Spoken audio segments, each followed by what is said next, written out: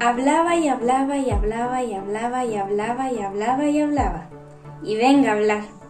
Yo soy una mujer de mi casa, pero aquella criada gorda no hacía más que hablar y hablar y hablar. Estuviera yo donde estuviera, venía y empezaba a hablar.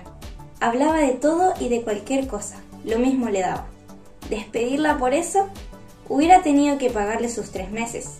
Además, hubiese sido muy capaz de echarme mal de ojo. Hasta en el baño, que si esto, que si aquello, que si lo de más allá, le metí la toalla en la boca para que se callara.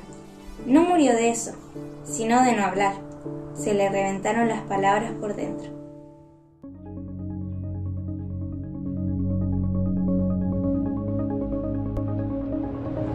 Sancho Panza, que por lo demás nunca se jactó de ello, logró, con el correr de los años, mediante la composición de una cantidad de novelas de caballería y de bandoleros, en horas del atardecer y de la noche, apartar a tal punto de sí a su demonio, al que luego dio el nombre de Don Quijote, que ésta se lanzó irrefrenablemente a las más locas aventuras, las cuales, empero, por falta de un objetivo predestinado, y que precisamente hubiese debido ser Sancho Panza, no hicieron daño a nadie.